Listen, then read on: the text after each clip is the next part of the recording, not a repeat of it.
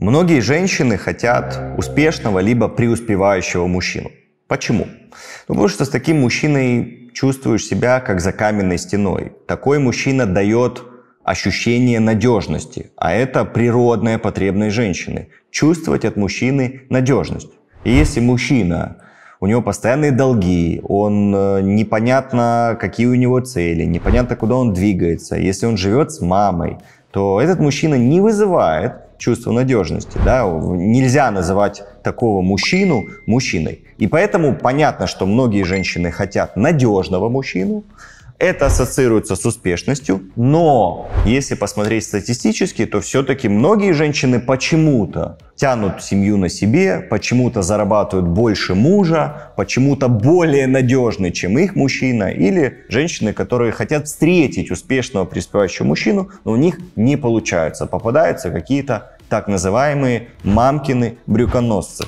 И в этом видео я хотел бы разобрать эту тему для того, чтобы э, тем женщинам, которые уже в отношениях, стало понятнее, что делать, чтобы их мужчина преуспевал, а те девушки, которые еще не встретили мужчину, как сделать так, чтобы в их поле появлялись преуспевающие мужчины, и эти мужчины хотели отношений с вами как с девушкой.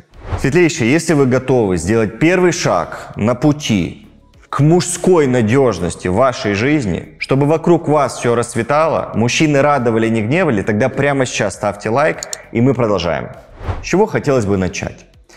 Вот если представить зоопарк или животную фауну, то есть разные животные. Вот так же и мужчины. Ну, кажется, что мужчины, это, ну, все они одинаковые, но отличаются знаками зодиака, цветом волос, годом рождения, национальностью, религией. Но на самом деле, если мы говорим и с точки зрения финансов, и с точки зрения мотивации, тоже мужчины есть разные.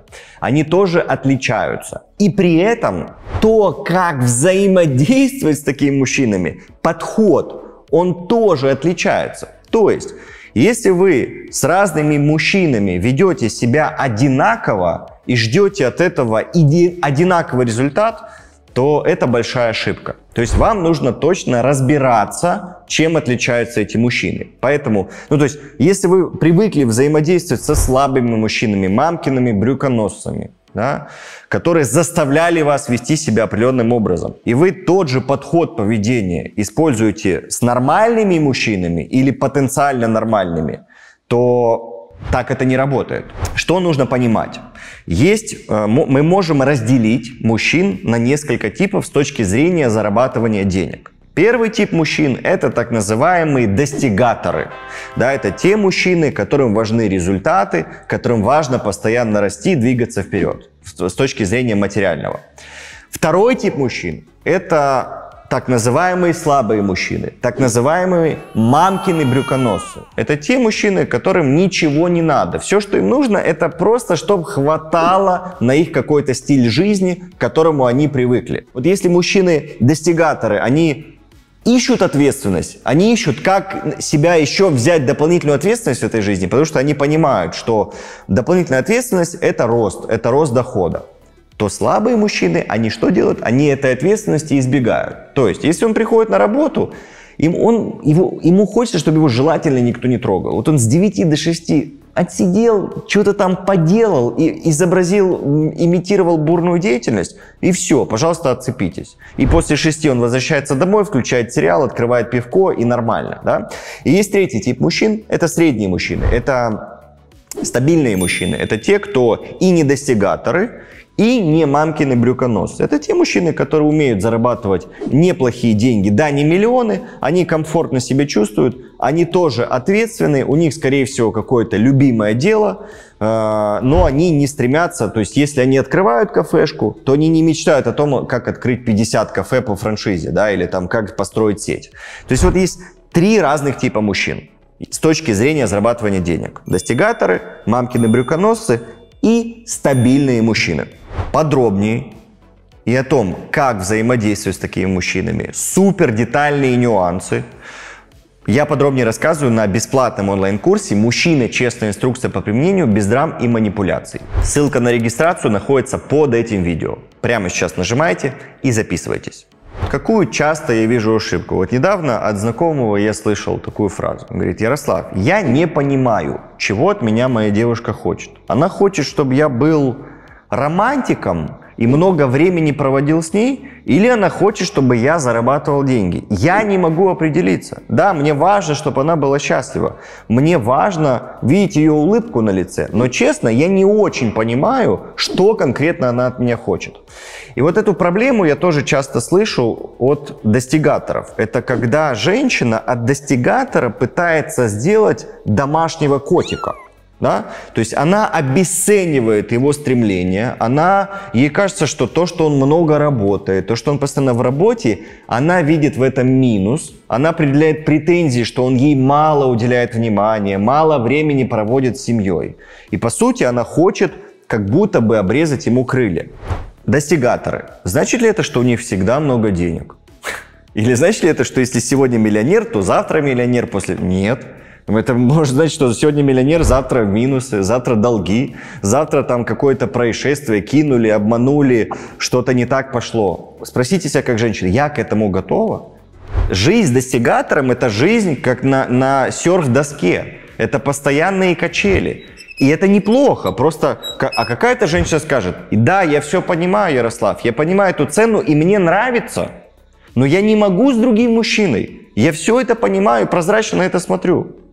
Но обычно девушки на достигатора смотрят только на хорошую сторону. Но то, чему я учу на бесплатном курсе, на путь женщины платном курсе для женщин, да, это то, что у любой монеты есть две стороны. Вот достигатора есть плюсы? Есть. Но возле каждого плюса напишите минус. У стабильного есть минусы? Есть. Но возле каждого минуса напишите плюс. Нет миллионов, зато есть стабильность. Есть такое понятие в психологии, как негативные денежные установки да, что деньги это плохо, богатые там это воры, да, там деньги это зло, честным путем деньги не заработаешь, негативные установки неправдивые. Но тоже так же у многих женщин есть негативные установки по отношению к богатым мужчинам. Ну, например, богатые изменяют, богатый поживет с тобой, поматросит, а потом на молоденькую поменяет и так далее. Среди мамкиных брюконосцев не меньше изменщиков. Все это списывать негативные стороны только на успешных мужчин, это, это не, не совсем так. При этом вот настроение у кого лучше? У кого из этих мужчин лучше настроение? У стабильного мужчины. Он, у него нет перепадов настроения, потому что у него нет стресса. Он себя не загоняет, как белка в колесо. Он, у него фокус на том, как себя комфортно чувствовать, как комфортно жить. У достигатора нет такой мысли, как комфортно жить. Ему скажи, чувак, у тебя много денег, остановись, живи всю свою жизнь комфортно. Да он пойдет лучше спрыгнет с десятого этажа. Потому что для него это просто как разрушение, для него это ужас. И если, пожалуйста, человек тревожный, но при этом делает, ну, например, хорошие рестораны, где люди с удовольствием приходят, чем плохо? Это полезный человек для общества. Кстати, давайте проясним прямо сейчас в комментариях, а какой тип мужчины подходит или нужен именно вам. Если вы пока что сомневаетесь, то тоже этим поделитесь в комментариях. Я думаю, всем будет интересно узнать статистику. Потребности мужчин, они абсолютно разные. Вот если достигатор, он хочет от, мужчин, от женщины что услышать? Ты крутой, ты много работаешь, вау, восхищена, ты не сдаешься. Скажите это мамкиному брюхоносцу, он на вас разозлится. Потому что он, себе, он не, сам не хочет много работать, он хочет избегать работы, он хочет избегать ответственности. И он тянуться будет к другой женщине, которая наоборот, в которой много тепла, в которой много ресурса, в которой много любви. Вот к такой женщине он сам с удовольствием будет тянуться, бежать с работы, бежать со своего бизнеса. Да? Если мы говорим про стабильного мужчину, не надо в нем ценить достигатора. Цените в нем то, что, ну, слушай, ты стабильный, у тебя все просчитано, у тебя все продумано, ты не рискуешь, да? Поэтому вам важно понимать, какой тип мужчины вам ближе. Вам важно понимать также, как, на каком этапе развитости вы сейчас находитесь. Потому что если вы не начинали прокачиваться как женщина или как личность, может быть, для вашего нынешнего уровня подходит такой мужчина. А когда вы прокачаетесь, дорастете, вам вы уже скажете, нет, мне такой не подходит, мне все-таки кажется, что мне будет лучше с другим. И если вы понимаете, что вам для нормальной жизни, комфортной, достаточно определенного, чтобы в вашей семье был такой доход – Конечно же, важно вам задаться вопросом, какой женщиной мне нужно быть да, чтобы возле меня мужчина столько зарабатывал. И мужчина, который столько зарабатывает, к какому типу мужчин он относится или может относиться. И если вы как женщина понимаете, что вам все-таки ближе и по кайфу мужчины-достигаторы, тогда да, это абсолютно нормальное желание. Вы должны понимать их плюсы и минусы, нюансы, их травмы, то, что нужно этим мужчинам на самом деле, чего им не нужно, какое поведение им точно для них разрушительно. И, соответственно, с соответствующим подходом взаимодействовать с этим мужчиной.